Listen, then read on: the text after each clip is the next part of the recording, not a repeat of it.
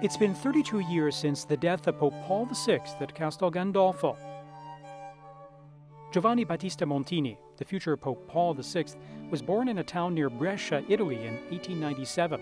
The young Montini entered the seminary in the town and was ordained a priest in Rome at the age of 23.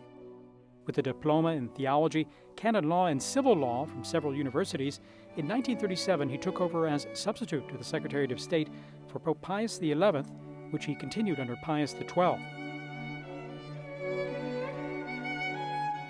In 1962, Pope John XXIII named him a cardinal, and he joined in the preparation of the Second Vatican Council, a council he later chaired after the sudden death of John XXIII. Only one year after his being named a cardinal, he was elected pope at the age of 66, just 18 days after the death of his predecessor. The pontificate of Paul VI was clearly marked by the implementation of the changes of Vatican II The encyclicals Populorum Progressio and Humanae Vitae showed the importance Paul VI gave to the problems of society at the time.